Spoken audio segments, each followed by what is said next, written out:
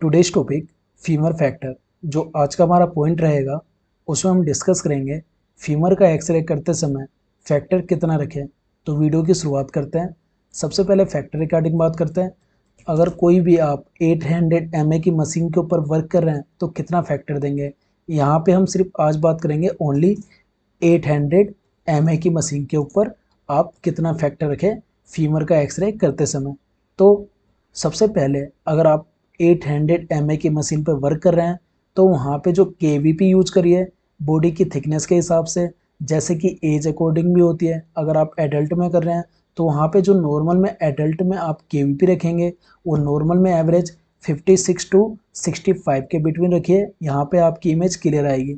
सबसे ज़्यादा जो यूज़ होती है, आप नॉर्मल में आप 58 भी रख सकते हैं, और यहाँ पे चाहे तो आप 63 भी रख सकते हैं। अगर वहीं पे कोई छोटा बेबी है, या हम बात करें तीन साल से लेके दस साल के बीच में तो वहाँ पे अगर फीमर का कोई भी एक्सरे करने जा रहे हैं तो वहाँ पे जो आप फैक्टर रखेंगे के में, वह नॉर्मल में यूज़ करिए 48 टू 50 में यूज़ करिए 800 हंड्रेड की मशीन के ऊपर। यहीं पे अगर हम बात करें एम के रिगार्डिंग मिली एम्पेयर सेकेंड कितना रखेंगे तो 56 के ऊपर आप 13 या 15 या 16 का यूज़ करिए एम का।